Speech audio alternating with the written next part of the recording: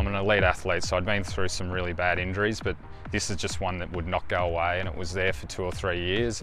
A high-flying 200-game AFL career left his body crippled with severe osteoarthritis. I think about the pain, just trying to get from the bedroom to the kitchen. Um, I was leaning on walls because I couldn't put any weight through my foot because there was so much uh, pain going through my knee and I think uh, by the end of my career was, I was having about 120 mils drained from my knee weekly. This is a spot here where I used to have it drained two or three times a week and in the last 12 months haven't had it drained once. 12 months ago I was playing AFL footy and I was in 10 out of 10 pain. 12 months later I'm playing local level footy, I'm really active with my kids again. Um, I'm going for walks every single night, I'm back running and pain scale I'd be a, a one or a two. The NFL, the NBA, the baseball, these are major league sports that have these injuries on a regular basis for which there is no current treatment. The market size for treating chronic pain in osteoarthritis is around $5 billion US per annum. The total cost to the healthcare system for treating osteoarthritis is $128 billion per annum. Paradigm Biopharmaceuticals focuses on repurposing the drug pentosan polysulfate. Repurposing a drug is taking a drug that's been through the regulatory pathway and finding a new clinical indication. The drug pentosan polysulfate, or PPS, is currently registered in the United States in an oral form for treating painful bladder syndrome. Paradigm Biopharmaceuticals is repurposing the injectable form of PPS for an orthopaedic indication.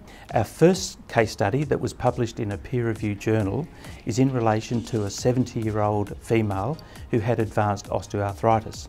With her pre-PPS treatment pain score of 8 out of 10 on a numerical rating score of 0 to 10, she was rating her pain at 8, which is quite extreme. After PPS, her pain scores went from 8 to 0, so complete removal of the pain. We also have objective clinical data, that being a MRI. I went back and had my final MRI and it was gone. Drug repurposing provides a number of advantages for the astute investor.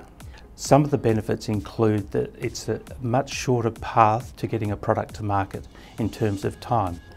A de novo or a new drug can take up to 15 to 18 years to get through the regulatory pathway and onto the market. Repurposed drugs on average take between three and five years to get to market and the average cost of repurposing a drug and getting it to market is in the region of 30 to 50 million US dollars. That's contrasted with new drug development that is now estimated to take in the region of 2 billion US dollars to bring a product to market. Repurposed drugs, because they've been through the regulatory pathway before, mean that they often are got a much higher success rate of getting through the regulatory approval. They have already been proven to be safe. It's hoped more than 2 million Australians could reap the benefits of a drug breakthrough being used to treat osteoarthritis.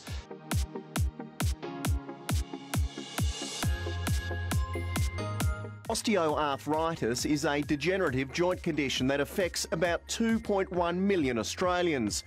One of our most promising young basketballers is part of a new medical trial and hopes it will prolong her career. Paradigm Biopharmaceuticals is looking to a very bright future. We have demonstrated our ability to execute on our clinical development plans. Paradigm Biopharmaceuticals is focusing on areas of unmet medical needs with very large markets and we're seeing life-changing results. A really life-changing moment for myself I'm so glad I've been able to be a part of the trial.